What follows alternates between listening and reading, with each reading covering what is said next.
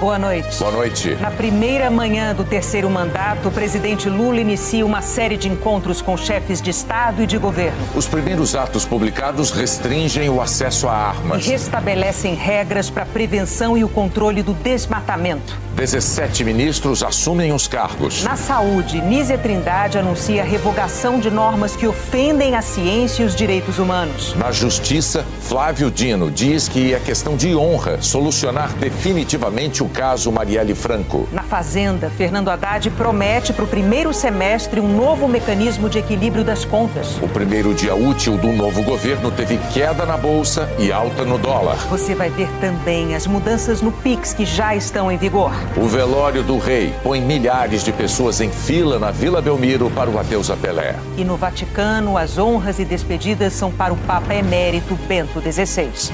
O Jornal Nacional está começando.